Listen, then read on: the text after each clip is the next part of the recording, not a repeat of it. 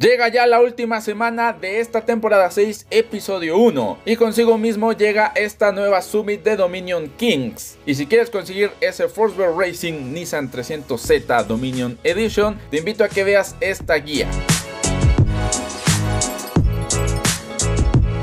Empezamos con el slalom de tierra. En este caso yo estoy ocupando la Land Rover Defender Works, pero si tú no quieres usar esta puedes usar cualquier otro. He visto que también hay gente que usa moto, así que pues ya dependerá de ti.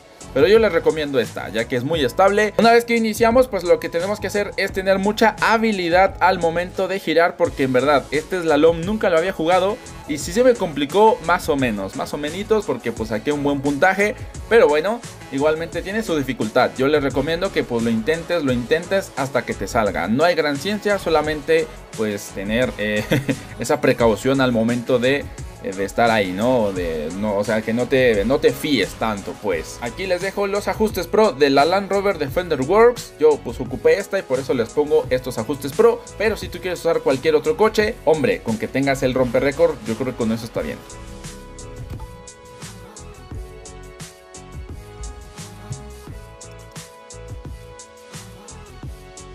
En este caso sí les recomiendo que usen sí o sí la Harmon Rocket H3. Ahora, otro consejo que yo te doy con este evento es que si tú sientes que la avioneta te gira muchísimo o que te gira muy brusco, le subas la zona muerta de la dirección a la mitad. Ahora, una vez que ya estamos aquí en el evento, lo que tenemos que hacer es una vez iniciamos, nos vamos derecho, obviamente sin tocar eh, o el punto de inicio, hacemos este movimiento, o sea, nos ponemos de cabeza, ¿vale? Y simplemente lo que tenemos que hacer es ir todo el tiempo así, ir ahora sí que pilotando al revés. Aquí solamente depende mucho de ti que no te desconcentres y que obviamente no te salga mucho tráfico de frente pero sigue esta ruta que estás viendo aquí en pantalla. Para mí es la mejor que encontré y pues obviamente como que la carretera está más recta en varias partes. Y bueno, aquí están los ajustes pro de la Harmon Rocket H3. Te deseo mucha suerte en este evento porque está un poco dificilito. Hey, ya sabes, si te gusta el video no dudes en dejar tu like, suscríbete al canal, activa esa campanita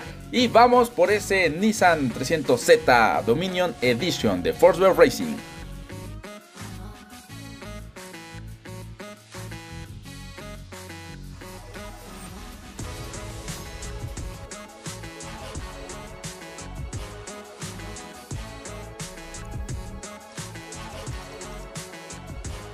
Aquí viene otro slalom, en este caso es un slalom de tierra. Aquí yo les recomiendo que usen el coche que ustedes quieran. Bien, aquí pues solamente es cuestión de ir practicando también el slalom, ya que pues tiene su dificultad, ya que al principio pues salen dos coches así como de repente, entonces tienes que tener un poco de control al inicio.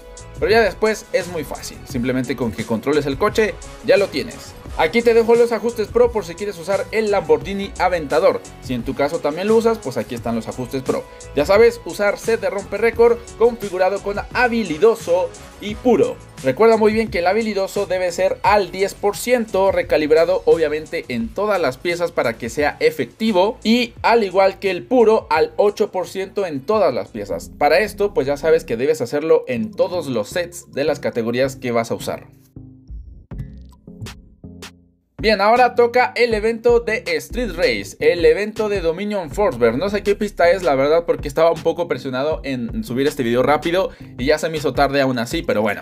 Aquí yo les recomiendo que uses el Lamborghini Gallardo o el Porsche 993. Pero de igual manera puedes usar el Lamborghini Gallardo, tal vez se te da mejor que el Porsche 993. Consejo en todas las pistas de Dominion Forcebear, no frenar mucho y aprovechar lo más que se pueda de la velocidad del coche ya que sí, estos eventos tienes que tener mucho control al momento de frenar y tienes que jugártela, o sea, tienes que jugártela literalmente.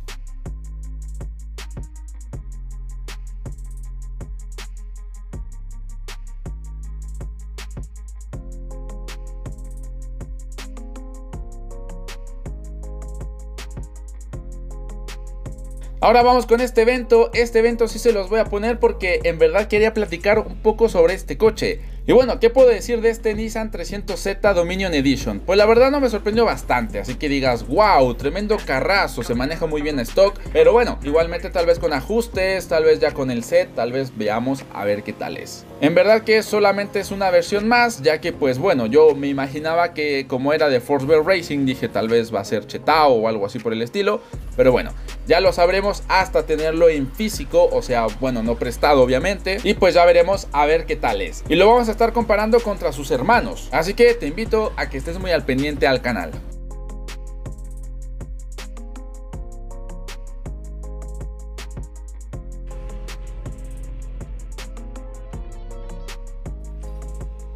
Ahora bien, toca el evento de Touring Car. Para este evento nos piden que usemos el Ferrari 488 GT3.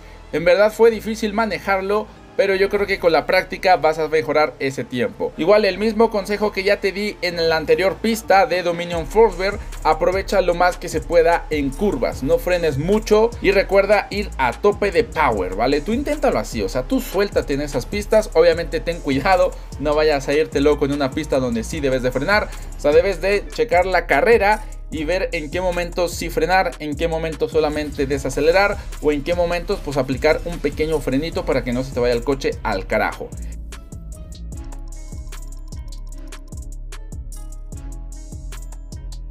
Bien, ahora para el evento de Alpha Grand Prix, este evento sí está un poco dificilongo, ya que mucha gente, como les digo, se suelta demasiado en estas carreras, ya que Dominion Forcewear es para eso, para aprovechar lo que más se pueda en curvas. Así que aquí el consejo que yo te puedo dar es que le des con todo, o sea, dale con todo, intenta, intenta, hasta que pues obviamente consigas hacerte un buen tiempo.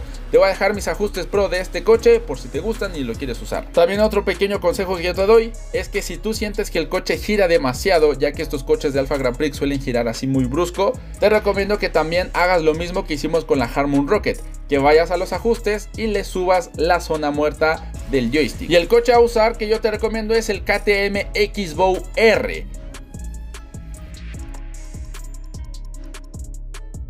Ahora bien, el evento de Rallycross. En este evento, pues yo te recomiendo que uses la Escalade. Y bueno, ya sabes, aquí vas a tener los ajustes pro de esta camionetilla. Y lo mismo que ya te dije, simplemente suéltate en las carreras.